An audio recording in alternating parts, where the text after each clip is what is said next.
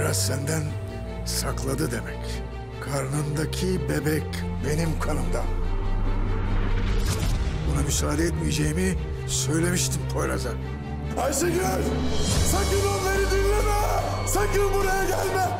Eğer buraya gelirsen seni ömür boyu affetmem Ayşegül! Buraya gelme!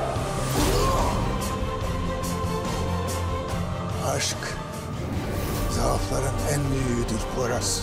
En büyük hataları o yaptırır. Tamam geleceğim geleceğim. Tamam ne istiyorsanız yapacağım. Ona dokunma!